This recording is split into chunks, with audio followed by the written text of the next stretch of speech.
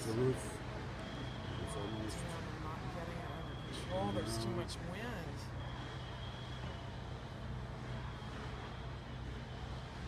Oh, there it goes. Oh,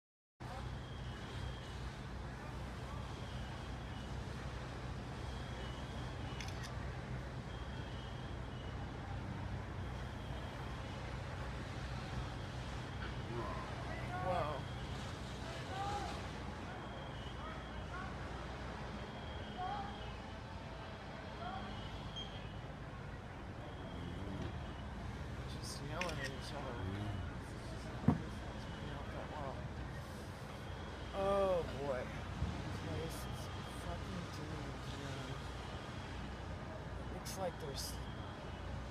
We've got two houses, right?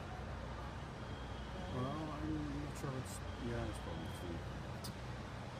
You know these these fires in San Francisco are, are kick ass, man. They are kick ass. They got whole neighborhoods burned down, blocks burned down in the city because mm. you can see why because they're so close to each other. And if you have wind like this,